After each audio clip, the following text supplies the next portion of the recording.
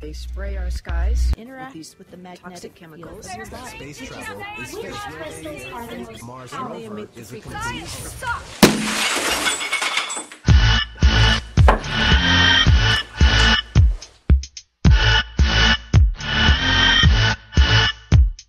Hello, I'm Rich Lund. Welcome to another episode of Debunk the Funk. In episodes 1 and 2 of Debunk the Funk, we gave kind of an overview of the flat earth idea.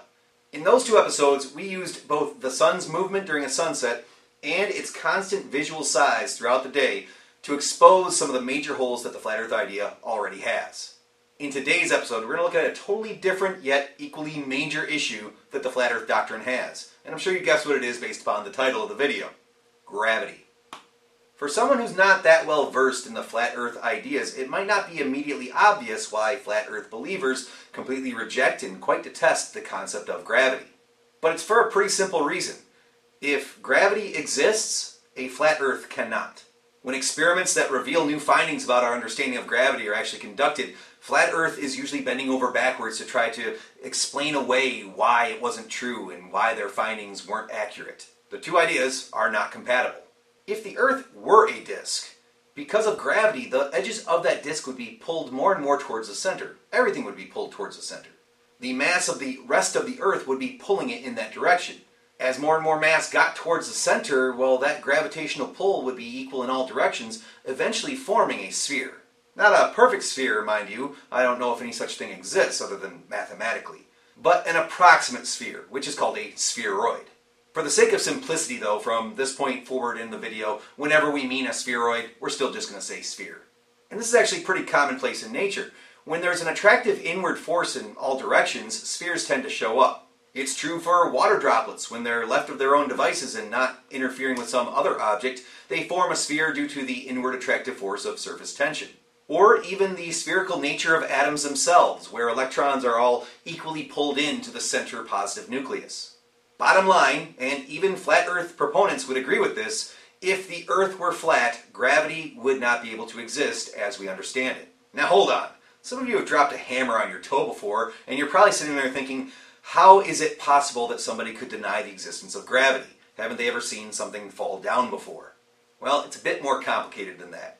I've mentioned it a few times in various episodes that when it comes to conspiracy theories or just pseudoscience in general, there's definitely a strong advantage to being vague. When someone's vague about a certain topic or area of their belief, well, then they can never be tested and disproven because they never actually put it to words. They never pin down exactly what it was that they believe.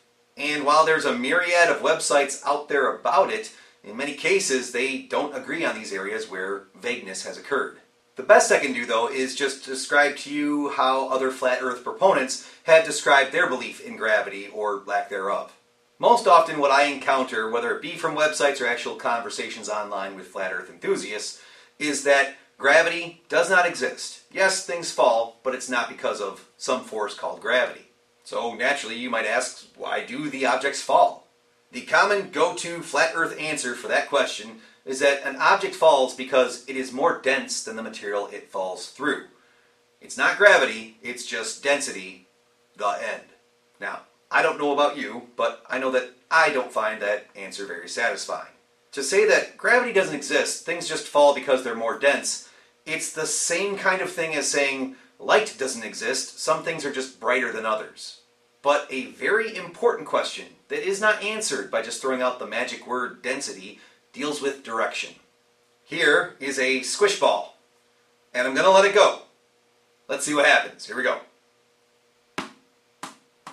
Now, nothing crazy or fantastical happened. We watched this fall just as we'd expect. But when I say the word fall, that word has wrapped up in it already a direction down. So let's describe what we saw in an equally accurate way. Instead of saying when I let go of the ball, we saw the ball fall, let's talk about how when I let go of the ball, the ball moves. Now, why did the ball move? Already, the density answer is broken. If one were to try to say that the ball moved down because below it was air and the ball is more dense than the air, I can easily point out that there's also air in front of it and behind it, to the left and to the right of it, and above it. So if this ball is more dense than the air above it, well, why didn't it move in that direction? The density answer cannot handle even that simple question. If people are examining and looking at and exploring the ideas of flat Earth, what perhaps isn't apparent to them when they first encounter flat Earth's rejection of gravity is that it's not just a rejection of gravity. At the same time they reject gravity, what they are really rejecting is Newton's first law of motion. Objects at rest, so not moving, will remain at rest unless acted upon by an unbalanced force. Granted, that's not all of Newton's first law of motion, but that's the part that they are rejecting. When I let go of our ball, it moved. Newton's first law of motion would say there must have been an unbalanced force that acted on it. And further, because we all saw which direction it moved, we also know the direction that force is in. The density explanation cannot do anything to describe to you why objects fall in the direction that they do. Let's be fair though, I have encountered some flat earth proponents, most of them, who do recognize that yes, weight exists. Objects do have weight. Still, they reject the idea that weight is a force, and specifically, a force due to gravity. So, let's ask this question Is weight a force? And how do we know? What I have here is a spring scale, and the spring's the important part of it. If I want to stretch this spring, if I want the length of the spring to increase, then I must exert a force on that spring in order to increase its length. In other words, I think we all agree you need a force to stretch a spring.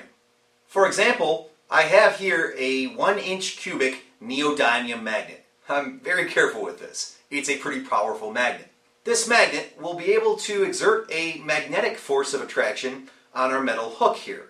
And so this magnet can attract and pull on with a magnetic force our hook, which is pulling on the plastic inside, which pulls on the spring. And because our scale is calibrated, we can actually read, when we pull it as far as it can before it lets go, we can read how many newtons of magnetic force must have been pulling on the hook before it let go. Okay, both flat earth enthusiasts and globetrotters, are we all still in agreement? You need a force to stretch a spring. Now here I have a weight. And this is actually a situation where I have no idea if the pun is intended or not. I have a weight. Now I'm going to take the weight and I'm going to place it inside of a clear bag which has a string hanging from it. And the string is there so that way I can attach our string to our hook on our spring scale. Now I'm going to do something that might seem a little silly here, but it's to establish something. I'm going to lay the bag and the spring down on a shelf. As you can see, with the weight in the bag, attached to the string, attached to the hook, which is part of our spring scale, the spring is not being stretched. I know, I know, duh, right? But I'm establishing something here. Just having this weight in this bag, attached to the string, attached to the hook, is not stretching the spring. No force is just automatically being exerted on this spring. But what if we let the bag hang off of our shelf? We've already agreed a force is necessary to stretch the spring. The spring is being stretched, so a force must be being exerted on it.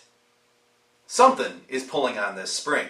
Now, before we did this, we established that when the setup was just sitting on the shelf, no force was being exerted on the spring.